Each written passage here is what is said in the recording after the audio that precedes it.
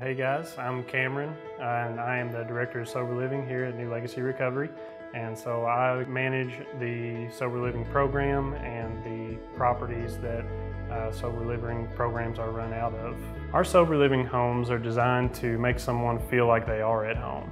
Uh, we kind of want to bring that southern charm that is relaxing and uh, gives a environment that's conducive to recovery so that you don't have to worry about maybe some of these external factors whenever you're in a safe and home-like environment.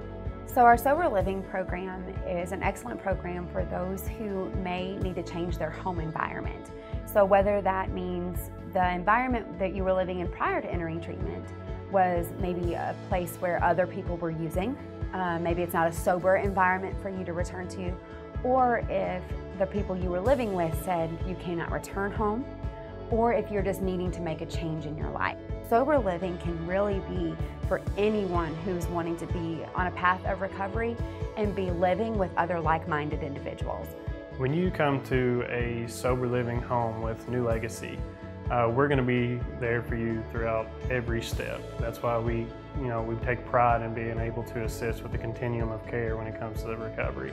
If you ever have a time where uh, you need to start enrolling in some type of IOP, we will be able to connect you to those services immediately. Also, while you're here in the home, we will have case management services that do help you work your recovery plan, hold yourself accountable, and a staff that will make sure that the accountability is there for the entire home. A day in sober living is not much different than a day in regular life. You're just the, the life of recovery. You're able to um, not worry about some of these external factors that maybe you would in a normal environment that you're used to, but instead you're able to, you know, if you have a job, you're able to go and work that job, but come back home to an environment that is conducive to recovery and is uh, there to help you stay accountable instead of going home and not having that environment to return to. Sober living provides boundaries. It provides uh, guidelines, I guess, with which to restore your life. Accountability, although might be a negative term or felt like it's negative, it's really not. It's just helping you learn how to live your life in a way that helps you achieve the goals that you've set for yourself. And so it's almost like an action plan, if you will.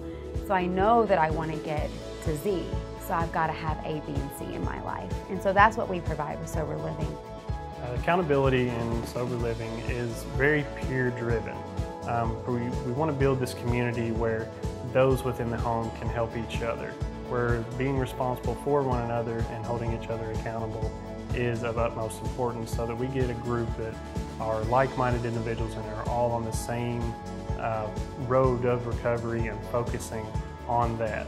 The other thing that I really love about our sober living residence is that it it just feels warm and it feels welcoming.